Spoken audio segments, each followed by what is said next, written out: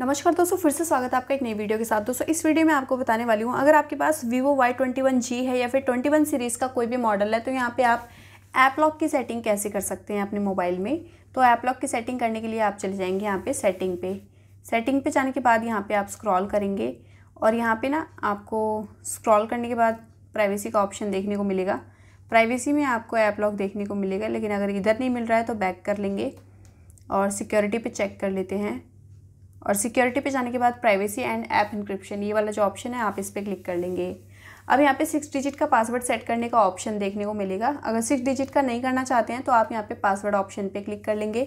यहाँ पे four digit का पासवर्ड पैटर्न या फिर अल्फ़ा न्यूमेरिक यानी कि अपने नाम के साथ वन टू थ्री वगैरह भी ऐड कर सकते हैं। तो मैं यहाँ पे पैटर्न पे क्लिक कर लूँगी और अपनी मर्ज़ी का कोई भी एक पैटर्न यहाँ पे ड्रॉ कर देंगे। दोबारा से ड्रॉ कर लेंगे और यहाँ पे सिक्योरिटी क्वेश्चन का एक आंसर सेट करना है आपको ताकि अगर आप ऐप लॉक भूल जाते हैं कल को तो ऐप लॉक आप रिकवर कर सके।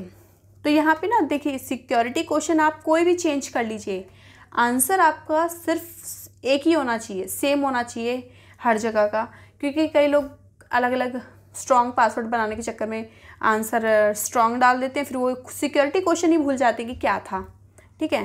तो सिक्योरिटी क्वेश्चन कोई भी हो नो मैटर कोई फ़र्क नहीं पड़ता, यहाँ पे मैं अपना नाम डाल दूँगी और यहाँ पे भी। आप चाहो तो किसी का भी नाम डाल सकते हो, कुछ भी डाल सकते हो, लेकिन एक ही डालना है, ठीक है? डन पे क्लिक कर देंगे। अब यहाँ पे इस स्टेप से आपको ऑप्शन देखने को मिल जाएगा। ऐप इंक्रिप्शन है, ऐप इंक्रिप्शन पे क्लिक करेंगे। अब यहाँ पे जितनी भी एप्लीकेशन है लॉक करने के लिए आप ऐसे करके चेक मार्क कर लेंगे। यहाँ पे मैंने तीन एप्लीकेशंस को लॉक कर दिया है।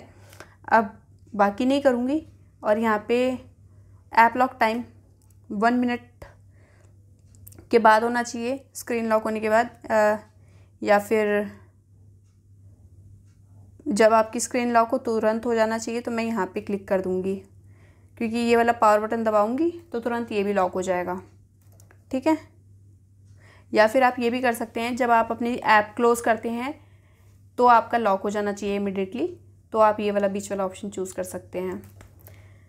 अब कुछ नहीं करना, आप बैक कर देना है और जिस एप्लीकेशन को आपने लॉक किया था, वो आप इनेबल करेंगे तो आपको इस टाइप से ऐप लॉक डालना पड़ेगा। और अगर आप ऐप लॉक के लिए फिंगरप्रिंट का यूज़ करना चाहते हैं तो उसकी वीडियो आप अलग से देख लीजिएगा। या फिर फिंगरप्रिंट वाले ऑप्शन में जाके ऐप इंक्रिप्शन ऑन कर दीजिए। आपका फिंगरप्रिंट लॉक से भी आपका ये ऐप लॉक खुल जाएगा। चलिए मिलते हैं आपको एक नेक्स्ट वीडियो में, तब तक के लिए नमस्कार।